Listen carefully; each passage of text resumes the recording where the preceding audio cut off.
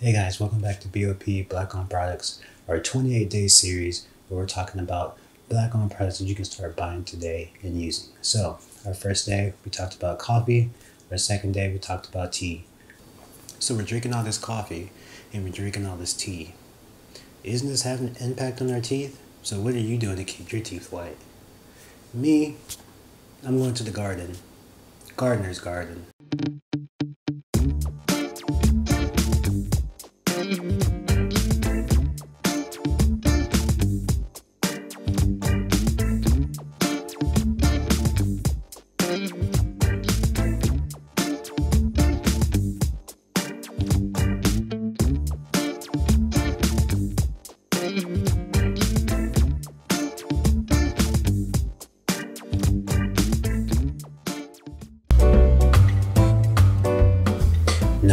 Sure some of you guys were like, gardeners? What garden? Garden? Gardener's garden? What is he talking about? So, I'm talking about Philip Gardner, who started Garners Garden in 2012. When starting Garner's Garden, he had one thing in mind making affordable, 100% natural skincare products. Gardener's Gardener had humble beginnings, first being available at local farm markets and at local events. Since then, the company has experienced tremendous growth, as it has been featured in national publications like the Huffington Post. Philip Gardner is committed to helping people live healthier lifestyles by creating natural beauty products that are handmade and crafted with high quality ingredients.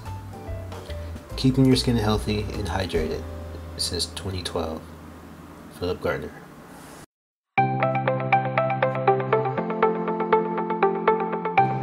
To start things off, grab the oil pulling. Shake it up a few times before using. Use about 1 4th ounce of product and gargle in your mouth for at least 30 seconds. Spit and rinse mouth out with warm water for maximum benefit. Next, use the antibacterial mouthwash. Shake it up well before use. Squirt about 2 to 3 ounces of mouthwash into the mouth. In addition to the mouthwash, grab the tooth powder, add about 1 4th of a teaspoon, and put it in your mouth. Switch around and gargle both products for about 10 to 20 seconds. Then grab your toothbrush and insert into your mouth and start brushing your teeth while leaning over the sink. After about 1 minute of brushing, release some mixture from your mouth into the sink. Afterwards, continue brushing your teeth for about 2 more minutes by finishing Afterwards, spit out any remaining mixture and then rinse with warm water. That's it for day three of 28 days on BOP for Black owned products. Make sure you catch the next episode tomorrow. Thank you for watching the video. If you liked it, make sure you give it a like. Don't forget to subscribe and share it with your family and friends. Also, do leave comments below. Make sure you don't forget to follow us on other platforms like Twitter and Instagram.